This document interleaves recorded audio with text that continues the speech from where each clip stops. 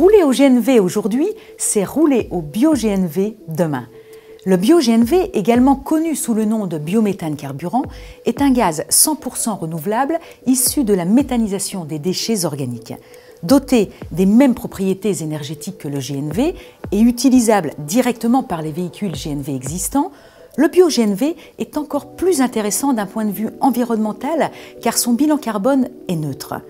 Si aujourd'hui, le bio-GNV n'en est qu'à ses débuts, son potentiel de développement est considérable au regard de tous les projets de sites de méthanisation avec injection qui sont en cours. À l'horizon 2030, l'ADEME prévoit 500 sites de production de biométhane, soit 12 TWh injectés dans les réseaux de transport et de distribution de gaz naturel exploités par GRT Gaz et GRDF. De quoi chauffer un million de ménages ou faire rouler 55 000 bus ou camions. Aujourd'hui, plusieurs sites produisent du bio-GNV. Comment et pour quels usages On regarde. À Morsbach, en Moselle, ce bus peut rouler pendant un an avec les déchets organiques produits par 7000 habitants. Son carburant provient des déchets préalablement triés dans les foyers puis traités par méthanisation sur le site de Métavalor. En fermentant, les matières d'origine animale et végétale produisent du biogaz, qui est capté puis épuré sous forme de biométhane pour respecter les spécifications du gaz naturel et pouvoir être injecté dans le réseau de distribution de gaz naturel GRDF. Zéro coût de stockage. Le gaz est distribué là où il doit être consommé. Par exemple dans les stations GNVR installées à proximité ou ailleurs grâce au réseau de GRDF et de GRT Gaz qui maillent le territoire français. Demain, ce bio-GNV pourra aussi être transformé en carburant liquide destiné aux véhicules industriels.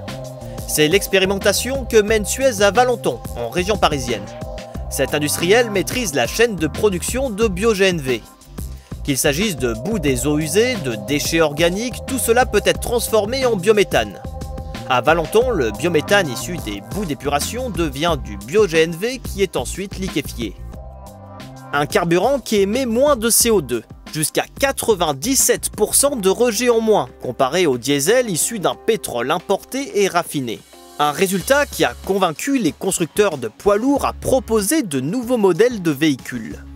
Ces développements incitent d'autres industriels comme Air Liquide à investir dans la production de bio-GNV, sa liquéfaction, son stockage et la création de réseaux de distribution au client final. La méthanisation offre de belles perspectives. Le secteur le plus dynamique en France aujourd'hui est la méthanisation agricole et territoriale. Le gouvernement vise 1500 méthaniseurs agricoles en 2020. Le bio-GNV représente un potentiel annuel considérable sur notre territoire. Environ 250 TWh par an, soit plus que la consommation de l'ensemble des voitures en France en 2011. Demain, c'est la méthanisation de microalgues ou de biomasse ligneuse comme le bois qui permettra d'adapter la production de biogaz à chaque territoire.